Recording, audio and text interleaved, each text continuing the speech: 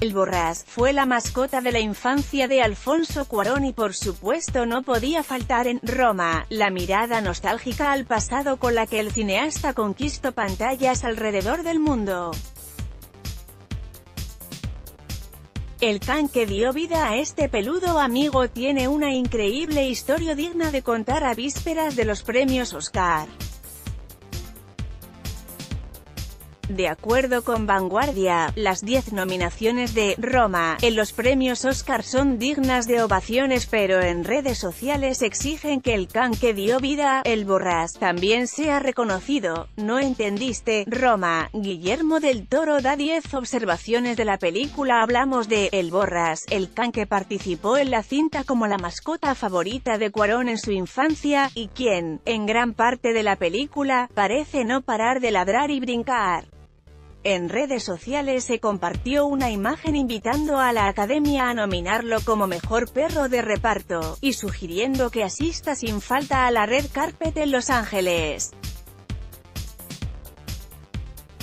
Pero detrás de este peludo amigo de cuatro patas hay una impactante historia que si no te saca una lágrima, morirás de ganas de abrazarlo.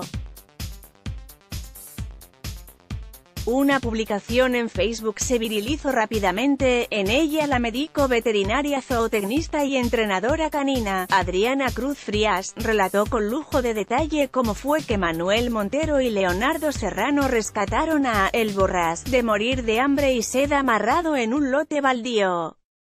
Hasta el momento la publicación ha sido compartida por más de 3.000 personas y ha obtenido más de 600 comentarios.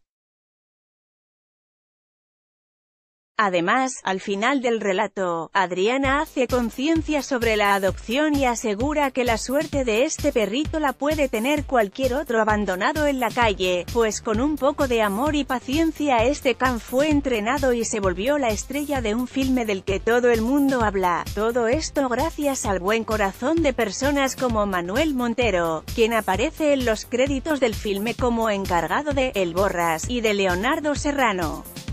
Ahora, el Borras disfruta de su nueva familia y de su rápido ascenso a la fama, sigue brincando y aprendiendo nuevos trucos de la mano de su entrenadora. Gracias, Borras por dejarnos ser parte de tu historia, aseguró al final de la publicación a Adriana. Estas son las películas mexicanas nominadas al Oscar a lo largo de los años han